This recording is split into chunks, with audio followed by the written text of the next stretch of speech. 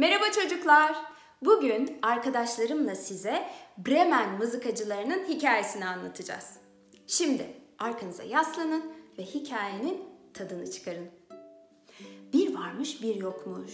Çiftçi eşeğin başında dikilmiş söylenip duruyormuş. Seni yaşlı eşek artık bu yükleri taşıyamıyorsun. Seni boşuna mı besliyorum? Yıllar yıl çiftlikte çalışmış, onca yük taşımış, çuval taşımış eşek artık eskisi gibi güçlü ve genç olmadığını biliyormuş. Gece düşünmüş, taşınmış. Artık çiftçinin onu istemediğini ve beslemeyeceğini anlamış. Ve çiftlikten kaçmaya karar vermiş. Çiftliğin dışındaki tahta kapıyı çiftesiyle kırmış ve bir daha dönmemek üzere orayı terk etmiş. Yolda giderken de evet yaşlı ve güçsüz olabilirim ama hala anırarak güzel şarkılar söyleyebilirim diye düşünmüş ve müzisyenleriyle ünlü Bremen'in yolunu tutmuş. Eşek böylece az gitmiş, uz gitmiş, dere tepe düz gitmiş. Ve sonra bir köpekle karşılaşmış. Yerde böyle boylu boyunca yatan bir av köpeğiymiş. Hemen sormuş. Hayrola köpek kardeş niye böyle yerde boylu boyunca yatıyorsun demiş.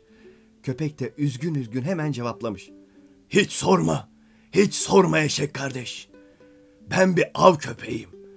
Ama yaşlandığımı hissediyorum. Eskisi kadar hızlı koşamıyorum. Ve sahibime avda eskisi kadar yardımcı olamıyorum. E tabi sahibim de bunun farkına vardı. Ve bana artık kötü davranmaya başladı. Ben de bunu gururuma yediremedim. Ve evden hemen kaçtım eşek kardeş. Ne artık nerede yaşarım, ne yaparım, karnımı nasıl doyururum bilmiyorum. Deyince de eşek bir düşünmüş, hafifçe gülümsemiş ve aklına bir fikir gelmiş. Üzülme köpek kardeş, üzülme. Bak aklıma bir fikir geldi. Dilersen şöyle bir şey yapabiliriz. Ben buradan Bremen kasabasına gidiyorum. Sen de bana katılabilirsin. Tabii istersen. Beraber müzik yaparız. Müzisyen oluruz. Ne bileyim mesela ben gitar çalarım. Sen de flüt çalarsın. Ne dersin? Deyince de bu fikir köpeğin çok hoşuna gitmiş. Ve eşeğe katılıp beraber yola çıkmışlar. Aradan uzun zaman geçmemiş, yolun kıyısında dertli dertli oturan bir kedi görmüşler. Eşek dayanamamış sormuş. Ne o? İşlerin sarpa mı sardı? Ne bu suratının hali? Neyin var kedi? Kedi yanıtlamış. Artık yaşım çok ilerledi. Dişlerim kütleşti. Patilerim güçsüzleşti. Bütün gün farelerin peşinde koşmak yerine sobanın kenarında pinekleyip duruyorum. Ev sahibem de beni istemedi ve kovdu. Ne yapabilirim ben şimdi? Eşek heyecanla söze girmiş. Bizimle gel. Hem sen müzikten anlarsın. Bremen'de mızıka çalarsın bizimle. Ne kadar çok enstrümanımız olursa o kadar zengin bir müziğimiz olur demiş. Bunu duyan kedi sevinçle zıplamış. Hemen onlara katılmış.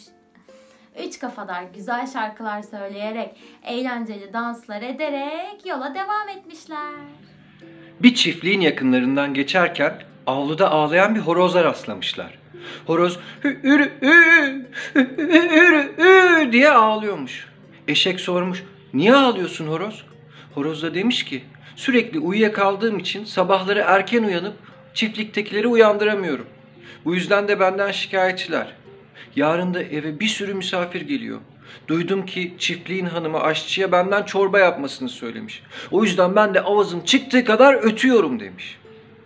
Grubun lideri eşek düşünmüş. Sonra yeni yol arkadaşları kedi ve köpeğe bakmış. Onlar da eşeğin aklından geçenleri anlamışçasına kafalarını sallamışlar. Eşek horoza demiş ki, biz Bremen'e gidiyoruz. Müzisyen olacağız. Köpek gitar çalacak, kedi de mızıka. E senin de sesin güzel, sen de şarkı söylersin. Hadi sil artık gözyaşlarını. Bize katıl. Artık yola çıkma vakti demiş. Horoz mutlulukla bu teklifi kabul etmiş. Ve yola koyulmuşlar. Yolda bir şarkı söylemişler. A de bakayım, Ü, bir de Y de, Ü, şimdi bir de I, Ü, oku bakayım, Ü, ürü, Ü, oku bakayım, Ü, ürü, Ü. Ve yollarına devam etmişler. Hepsi çok yorulmuşlar. Geceyi ormanda geçirmeye karar vermişler. Köpek ve eşek hemen bir ağacın altına uzanmış. Kedi o ağacın dallarına tırmanmış. Horoz da bulduğu ilk yere tünemiş. Hepsi tam uyumak üzerelerken horoz uzakta bir ışık görmüş. Arkadaşlar belki de sığınacak bir ev bulmuş olabiliriz demiş. Dört kafadar sessizce gidip eve bakmaya karar vermişler. Yaklaşmışlar yaklaşmışlar. Eşek pencereye tırmanmış ve ne görsün. İçeride haydutlar şahane lezzetli yemekler yiyorlarmış. Şimdi bu haydutlardan kurtulmak için bir plan gerekiyormuş. Dört kafa kafaya vermişler. Hayır beni dinle ben öyle düşünüyorum. Bence de böyle yapabiliriz. Hayır böyle yapabiliriz. Sen beni hiç dinlemiyorsun eşek. Derken akıllarına şahane bir fikir gelmiş. Eşek ön ayaklarını pencereye koyacakmış. Köpek onun sırtına atlayacakmış. Kedi onların üstüne tırmanacakmış ve horoz da en tepeye konacakmış. Sonra dördü aynı anda çılgınlar gibi bağıracaklarmış. Sessizce eve yaklaşmışlar. Planı tam da konuştukları gibi uygulamışlar. Eşek ahi ahi ahi diye anırmış. Köpek raf raf raf raf raf raf diye havlamış. Kedi diye miyavlamış. Horoz da ne yapsın horoz da?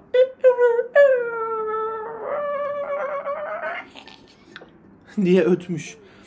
Sonra şangur şungur şengir şangur şöpür löpür diye pencereden içeri dalmışlar. Haydutlar, haydutlar bu korkulu bağırışmayı duyunca yerlerinden zıplamışlar. Çılgına dönmüşler. Arkalarına bile bakmadan evden çıkıp ormanı doğru kaçmaya başlamışlar. Oh, dört arkadaş evin içine girmişler. Afiyetle kalan yemekleri löpür löpür löpür löpür yemişler. Bitince de uykuları gelmiş. ışıkları söndürmüşler. Hepsi kendi keyfine göre rahat edebileceği bir yere geçmiş. Mesela köpek nereye geçer? Köpek ne yapmış? Kapının arkasına geçmiş. Kedi ne yapmış? Ocakta sıcak küllerin yanında oh mis gibi. Horoz, horoz da bir tüneyin üzerine kendisine atmış. Kuluçka, eşek de kendisini samanların üzerine löp diye, löp diye bırakmış. Sonra "Ah, yol yorgunu, ah, yol yorgunu oldukları için hepsi uykuya dalmışlar. Zaman gece yarısını geçmiş. Haydutlar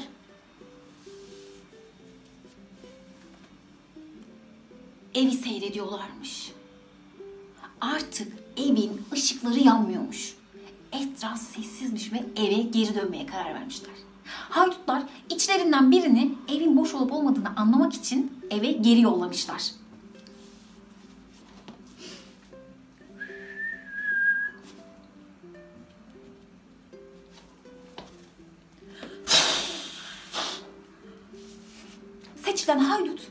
Bu esnada eve gitmeye başlamış.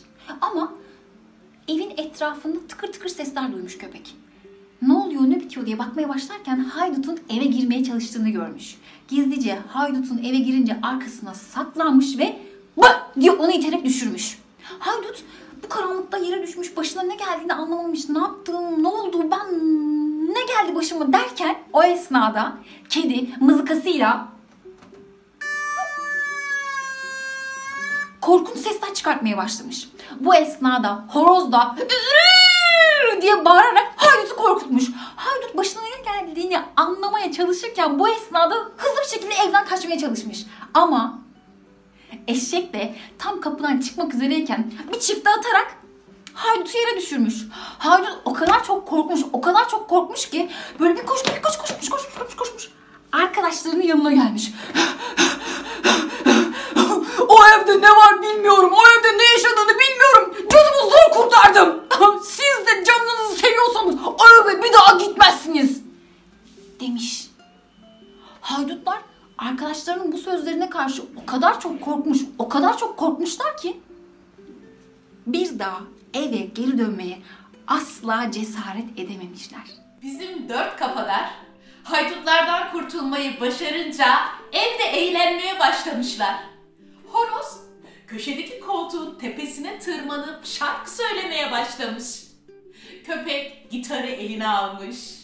Eşek flütü, kedi ise mızıkasını ve hep birlikte ona eşlik etmeye başlamışlar. Şarkı bittiğinde ise birbirlerini alkışlayıp tebrik etmişler. Kedi aniden lafa girmiş. Arkadaşlar, iyi ki sizinle karşılaştım. Artık tamamen beceriksiz olduğumu düşünüyordum ki harika mızıka çalabiliyormuşum.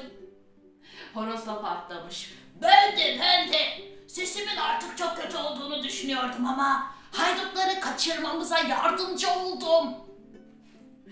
Köpek ve eşek de onlara katılmış. Hep birlikte geceleyin sabahlara kadar dans edip şarkı söyleyip sohbet etmişler. İşte o ev hala Bremen mızıkacılarına ait. Bizim eşek, av köpeği, kedi, horoz hala o evde yaşıyorlar ve dilediklerince şarkı söyleyip eğleniyorlar. Evet çocuklar, bugünkü hikayemizin sonuna geldik. Bizden dinlemek istediğiniz bir hikaye varsa İş Sanat Instagram adresinden bize ulaşabilir ve belki de istediğiniz hikayeyi dinleme fırsatına ulaşabilirsiniz. Sizi öpüyoruz. Hoşça kalın. Evde kalın.